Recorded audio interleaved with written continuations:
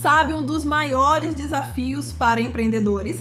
Separar suas finanças pessoais das finanças empresariais. Imagine só, você começa um negócio sozinho e de repente a empresa vira uma verdadeira eu presa.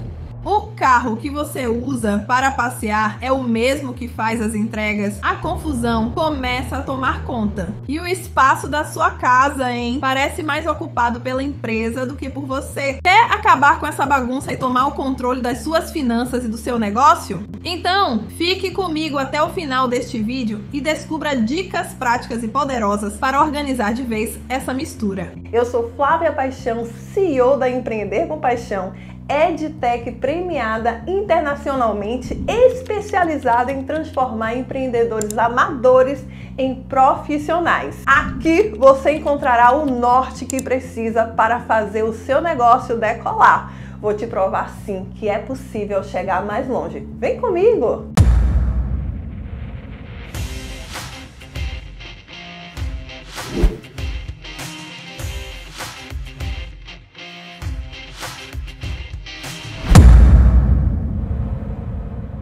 Se você trabalha com fotografia e vai encontrar uma amiga para tentar fazer as fotos do casamento dela, isso é trabalho ou é pessoal? É trabalho pois tem a ver diretamente com sua atividade profissional. Se você tiver gastos com almoço, gasolina, estacionamento, todos pertencem ao negócio, mesmo se o trabalho for de graça. Neste caso, poderia encaixar em uma ação de marketing. Já que está, podemos considerar que a amiga poderá divulgar os trabalhos e assim você atrairá mais clientes. As fotos irão fazer parte do seu portfólio. Não seria um trabalho gratuito, mas sim uma troca e um investimento em marketing. A questão é, você tem tanto prazer com o que faz que não se sente trabalhando. É aí que mora o perigo. Se não anotar todos os gastos que tem para realizar o serviço, você pode perder dinheiro. Uma vez que precisa das informações dos custos e despesas para formar adequadamente o preço dos serviços ou produtos. Antes de continuarmos, se você chegou até aqui, é porque sabe que tem tudo para dar certo. Só precisa de um norte. Torne-se agora um membro da Empreender com Paixão e faça parte da nossa comunidade de empreendedores apaixonados. Ao se inscrever no nosso clube de membros, você desbloqueia uma série de benefícios exclusivos que transformarão seus resultados. Clique agora e conheça os benefícios. Agora, veja como melhorar a gestão financeira de seu negócio. Primeiro, pare agora e liste quais são as despesas que pertencem à sua empresa. Por exemplo, telefone, gasolina, aluguel, alimentação, é, quando estiver trabalhando, custo do carro. Digamos que você trabalha em casa, mas se mudou para um local maior para ter mais espaço para organizar as mercadorias que você vende. Considere o valor a mais pago como uma despesa do seu negócio, já que se mudou porque trabalha para você e precisa de mais espaço para o negócio.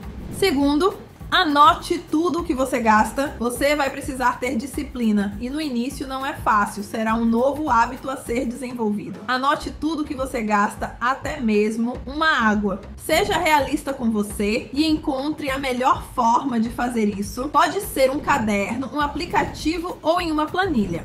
Eu sugiro que seja de fácil acesso. Então o aplicativo seria o melhor, pois o celular está em suas mãos o tempo todo. E se você deixar para depois, pode não fazer. Veja o que você acha melhor. Terceiro, atenção.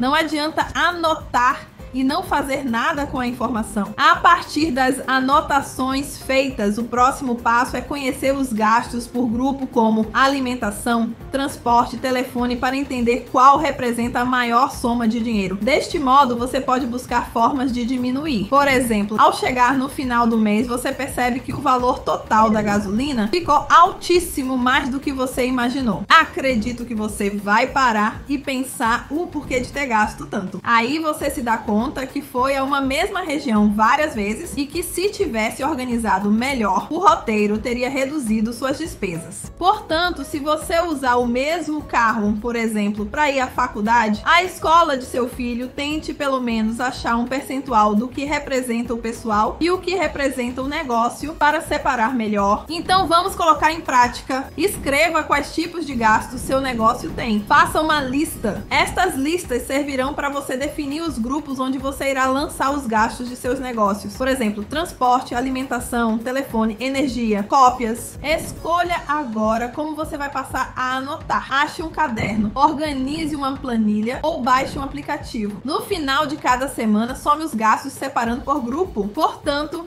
Lembre-se, se você quer que seu negócio prospere de forma consistente, não negligencie a importância de ter processos estruturados. Eles são essenciais para uma boa delegação, liberam seu potencial como líder e garantem que seu barco não só enfrentará tempestades, mas também chegará ao porto desejado, pronto para novas aventuras. Anotou tudo? Já sabe o primeiro que vai colocar em prática? Então, deixa aqui nos comentários que eu ficarei feliz em ler. Obrigada por chegar até aqui. E agora você já sabe, se quer empreender sem amadorismo, então veja os nossos vídeos e faça o Paixão Flix. Até a próxima!